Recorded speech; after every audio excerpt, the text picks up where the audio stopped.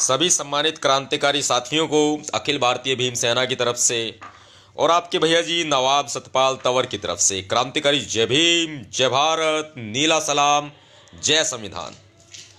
साथियों, आपके साथ लाइव मुखातिब हम हुए हैं एक मैटर को लेकर के, जिसके ऊपर आप सभी की निगाहें टिकी हुई थी। सबसे पहले तो आपका जो प्यार मिला, आपका जो साथ मिला उसके लिए मैं आपका आभार प्रकट करता हूँ सभी का।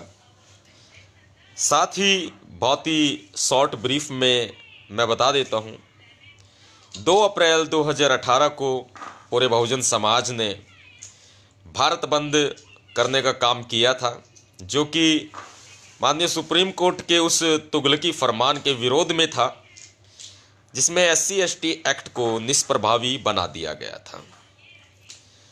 साथियों, पूरे बहुजन समाज ने अपनी ताकत इस सरकार को दिखाई और केंद्र सरकार, मोदी सरकार अध्यादेश लाने पर मजबूर हो गई थी। ये जीत आपकी थी, आप सबकी जीत थी। ये बाबा साहब, डॉक्टर अंबेडकर जी के संविधान की जीत थी। और आप लोगों ने जो अपनी ताकत का एहसास कराया, इस सरकार को भी अंदाज़ा लग गया कि बहुजन समाज, जो मूल निवासी समाज है, उसके हक अधिकारों को छीनना कितना घातक साबित हो सकता है। पूरा भारत जब बंद कर रहा था ये बहुजन समाज तो उसी भीड़ में कहीं अपने अधिकारों की लड़ाई लड़ने की कोशिश कर रहे थे आपके भैया जी नवाब सतपाल तंवर भी और सभी जो साथी हमारे साथ उस वक्त वहाँ मौजूद थे। गुड़गांव, हरियाणा के गुड़गांव की बात कर रहा हूँ। हरियाणा के गुड़गांव में पूरे बाज़ार को बंद कराया गया था और हाईवे पर तमाम साथी जो पहुँचे थे, उससे हाईवे का जो ट्रैफ़िक था वो भी अवरुद्ध हुआ था।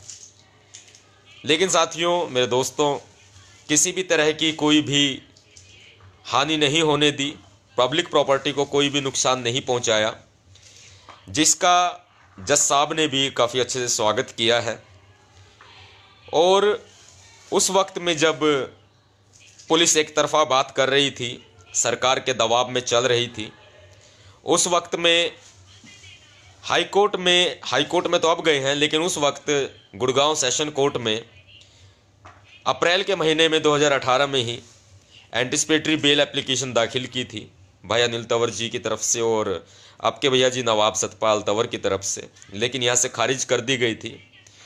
गुड़गांव पुलिस का कहना था कि हम लोग एंटी नेशनलिस्ट लोग हैं, हमारे ऊपर देशद्रोह के मामले दर्ज हैं, अन्य राज्यों में कई कई मुकदमे दर्ज हैं इस तरह की बात की गई थी, बेल खारिज हो गई थी। इसके बाद पुलिस का भी किसी तरह से कोई दबाव नहीं आया।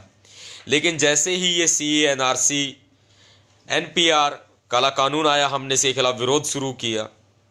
जब आरक्षण पर चोट पहुंचाई सुप्रीम कोर्ट के द्वारा, तब हमने आरक्षण समाप्त करने के खिलाफ जो हमने आंदोलन की रूपरेखा लिखी, आगे किए तब ये सरकार दोबारा से दबाव डालने लगी थी और 2 अप्रैल के केस को इन्होंने दोबारा से ये फ़ाइल खोल दी थी।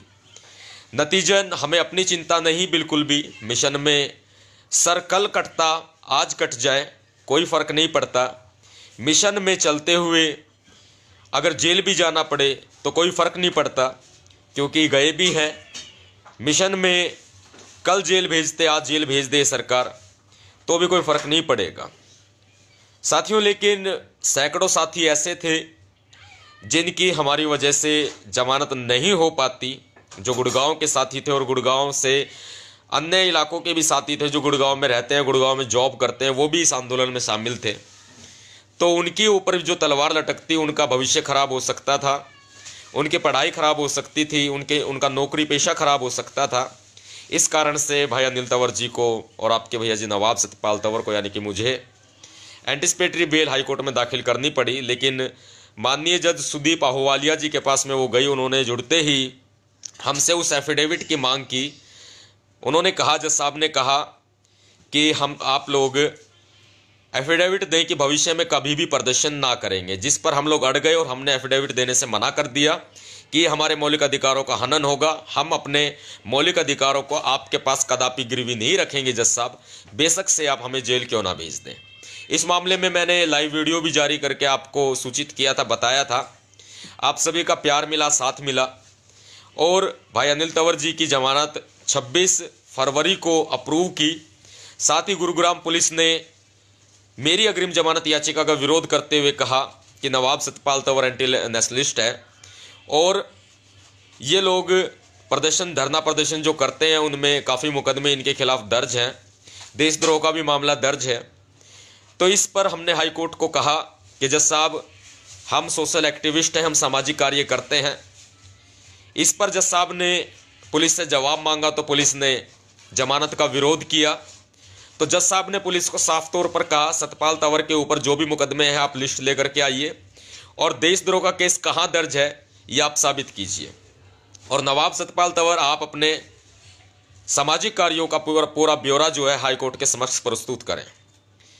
नतीजन हमने हाईकोर्ट के सामने अपने सामाजिक कार्यों का पूरा ब्यौरा रखा, जो कि न्यूज़ वगैरह के माध्यम से कुछ पोर्टल्स पे न्यूज़ आई है, उसमें आपने पढ़ लिया होगा। और कुछ अखबारों में कल न्यूज़ आएँगी, उसमें आप पढ़ सकते हैं।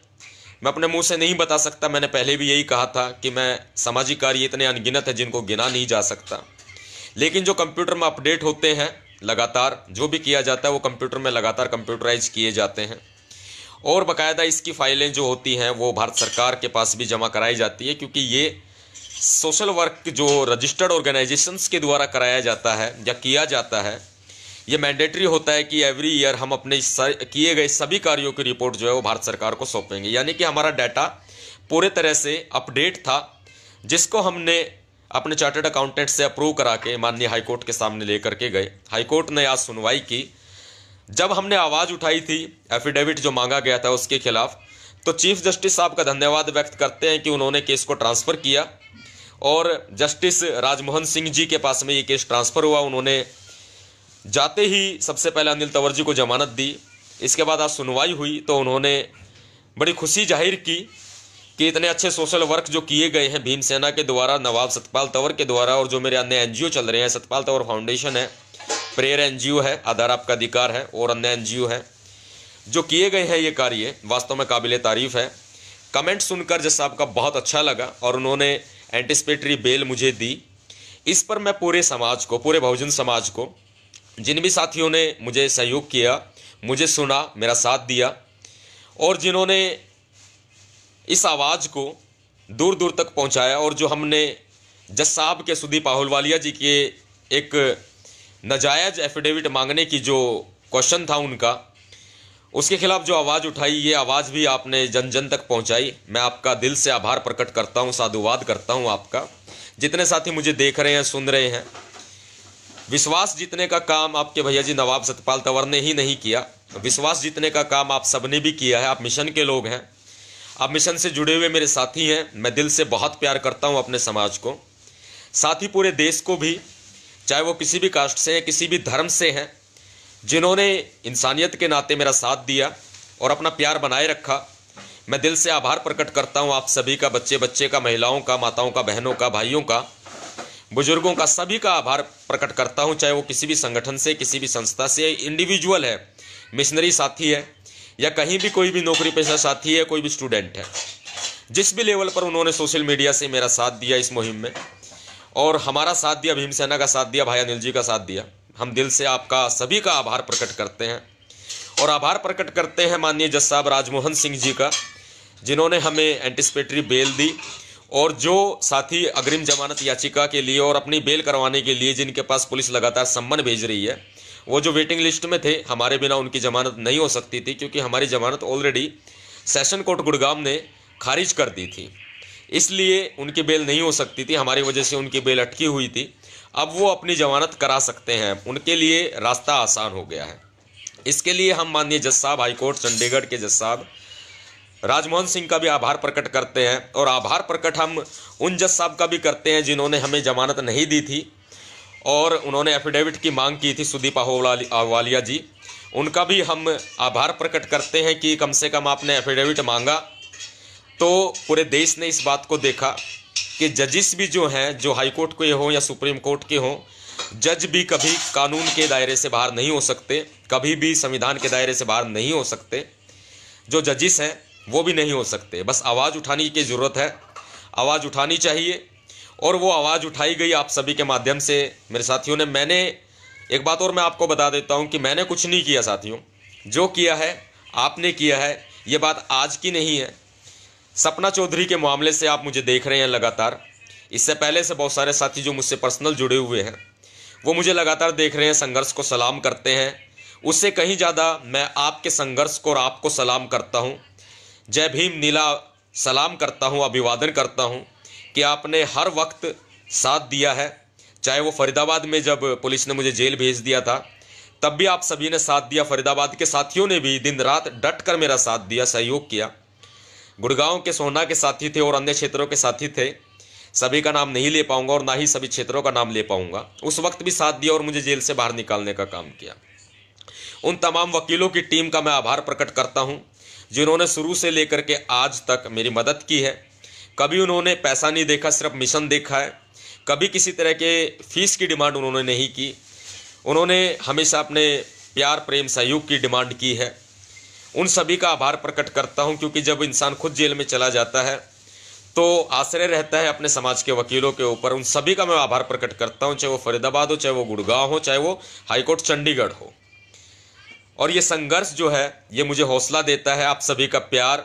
मैंने आपसे कुछ नहीं मांगा कभी भी। हमेशा कही है, ये यही बात कि बाबा साहब डॉक्टर भीमराव अंबेडकर जी की अनुकंपा से हमें सब कुछ मिला है। हमारे माता पिता बाबा साहब डॉक्टर भीमराव अंबेडकर जी के साथ हमारे माता पिता ने हमें पढ़ा के, बाबा साहब के, जो सबसे पहला नारा था, शिक्षित बनो के सपने को पूरा किया है कि हमें पढ़ाया है और आज हम इस काबिल हैं। मैं अपने माता पिता को भी धन्यवाद व्यक्त करता हूँ कि हर मुश्किल की घड़ी में वो मेरे साथ खड़े रहते हैं। सभी को मेरा आभार है, दिल से मेरे पास वो शब्द नहीं है जिससे मैं आप सभी का आभार और साधुवाद और धन्यवाद प्रकट कर सकूँ। लेकिन बस यही कहूँगा कि मुझे आपसे कुछ नहीं चाहिए, ना ही किसी प्रकार का। आपसे कोई डिमांड नहीं मेरी कभी भी और ना ही आज तक रही। किसी भी तरह की, चाहे वो किसी भी रूप में हो, मैंने आपसे मांगा है तो सिर्फ़ प्यार प्रेम मांगा है, साथ मांगा है। वही है आपका प्यार प्रेम साथ कि आज तक जितने भी मेरे ऊपर जानलेवा हमले हुए हैं मेरा बचाव हुआ है। उनको भी सज़ा होगी, मामले मुकदमे कोर्ट में चल रहे हैं।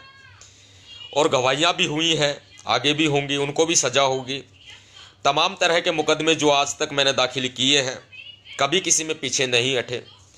और आज सामाजिक कार्यों का रिकॉर्ड कोर्ट में बोला, सामाजिक कार्य के रिकॉर्ड ने आज कोर्ट में गवाही दी, जज साहब भी बहुत खुश हुए। ये सब आपकी ताकत है, हमारे बहुजन समाज की ताकत है। ये सब बाबा साहब डॉक्टर अंबेडकर जी के संविधान की ताकत है। और आज मैं जो कुछ हूँ, साहब काशीराम की वजह से हूँ, आज मैं जो कुछ हूँ, बाबा साहब अंबेडकर जी की वजह से हूँ, हमारे रहबर, हमारे गुरु जितने भी हुए हैं, चाहे गुरु रविदास जी हो, गुरु नानक देव जी हों, चाहे गुरु कबीरदास जी हों, तथागत गौतम बुद्ध जी हों, मैं उनकी वजह से हूँ। फहरिस्त इतनी लंबी है, लिस्ट इतनी लंबी है, कि बोलते बोलते पूरी रात हो जाएगी हमारे महापुरुषों ने जो हमारे लिए संघर्ष किया है। और सबसे बड़ी एक बात और मैं आपको बता दूँ, आज मैं जो कुछ हूँ तो बहन मायावती जी की वजह से भी हूँ। क्योंकि बहन मायावती जी ने उत्तर प्रदेश में चार चार बार सरकार बनाकर बहुजन समाज की ताकत का एहसास कराया है। हमें हौसला दिया है, हमें हिम्मत दी है। हमें हमें सामाजिक तौर पर लड़ने के लिए जो प्रेरणा मिली है, उसमें बहन जी की भी एक अहम भूमिका है, बहन मायावती जी की भी। बहन मायावती जी भलाई राजनीतिक पार्टी चलाती हों, लेकिन उन्होंने जो एक प्रेरणा स्रोत की भूमिका अदा की है, जो एक आयरन लेडी की भूमिका अदा की है, जो हमारे समाज के लिए, बहुजन समाज के लिए जो उन्होंने किया है, और सर्व समाज के लिए जो किया है, वो वास्तव में काबिल तारीफ़ है। मैं बहन जी का भी हार्दिक आभार प्रकट करता हूँ कि समय समय पर जब मुझे बहन जी को पढ़ने का मौका मिलता है तो मैं उनकी लिखी गई किताब पढ़ता हूँ। बहुत अच्छी किताबें उन्होंने लिखी है समाज के लिए, और पढ़ते हैं तो बार बार पढ़ने का मौका मिलता है। साहब काशीराम जी को, बाबा साहब अंबेडकर जी को, महात्मा ज्योतिबा फूले जी को, माता सावित्री बाई फूले जी को, जब भी पढ़ने का मौका मिलता है, मैं पढ़ता हूँ। और उन्हीं के नक्शे कदम पर चलने की कोशिश करता हूँ। एक बार और मैं आपको बता दूँ एक बात, कि बाबा साहब डॉक्टर अंबेडकर जी, साहब काशीराम जी, आज हमारे बीच में नहीं है, लेकिन फिर भी हमारे दिलों में ज़िंदा है, उनका संघर्ष ज़िंदा है, आज भी उनकी विचारधारा ज़िंदा है। और जब तक ये विचारधारा ज़िंदा है। जब तक उनका संघर्ष ज़िंदा है, तब तक हमारा कोई भी बाल भी बाका नहीं कर सकता, कोई भी मनुवादी। और जब तक हम ज़िंदा हैं, तब तक बाबा साहब अंबेडकर जी, साहब काशीराम जी के हमारे तमाम महापुरुषों की विचारधारा को हम नष्ट नहीं होने देंगे। हम कभी भी संविधान को समाप्त नहीं होने देंगे। हम बाबा साहब की विचारधारा को कभी समाप्त नहीं होने होने देंगे। देश के संविधान को हम कभी भी समाप्त नहीं होने देंगे। हमें अपना सर भी कटाना पड़ेगा ना। तो हम अपने महापुरुषों के इतिहास को, उनकी विचारधारा को जीवित रखने के लिए अपना सिर भी कटाएँगे, सूली भी चढ़ जाएँगे, फांसी भी चढ़ जाएँगे, जेल भी जाएँगे। लेकिन सामाजिक इस संघर्ष में हम कभी भी पीछे नहीं हटेंगे। आज मुझे एहसास हुआ, कभी मैंने इस चीज़ को शो नहीं किया कि कितने सामाजिक काम किए हैं और क्या मुझे करने हैं और क्या करने चाहिए। क्योंकि मैं जो भी कुछ करता हूँ, सिर्फ़ और सिर्फ़ अपने तक वो सीमित रखता हूँ और जिनको इसका फ़ायदा मिलता है इन सामाजिक कामों का, वो उन तक सीमित रहता है। लेकिन जो कर दिया जाता है, उसका मैं कभी दिखावा नहीं करता हूँ। ये मेरा उसूल रहा है, हमेशा से। और आज ये जीत जो न्याय की हुई है, जीत संविधान की हुई है, जीत बहुजन समाज की हुई है, पूरे देश की हुई है, बाबा साहब अंबेडकर जी की हुई है, साहब काशीराम जी की हुई है। मैं दिल से एक बार फिर आप सभी को नीला सलाम व्यक्त करता हूँ। साथियों, अपना प्यार, प्रेम, संघर्ष हमेशा यूँ ही बनाए रखिएगा।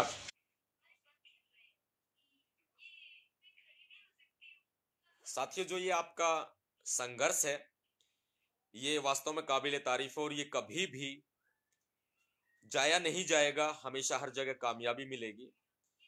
मेरी रिक्वेस्ट है आप सभी से कि आप सभी अपना प्यार, प्रेम यूँ ही बनाए रखिएगा। ज़िंदगी में कुछ मिले ना मिले, लेकिन जो आपका प्यार जो है वो हौसला देता है मुझे। ये संघर्ष करने के लिए हमेशा मुझे तत्पर रहने के लिए प्रभावित करता है। कुछ साथियों के कमेंट में बीच में पढ़ नहीं पाया हूँ और ना ही पढ़े हैं, मैंने अपनी बात कही है। जितने साथी जुड़े हैं इस लाइव वीडियो से, सभी को जय भीम अभिवादन करता हूँ और सभी का जय भीम अभिवादन स्वीकार करता हूँ। कुछ साथी कह रहे हैं, भाई साहब,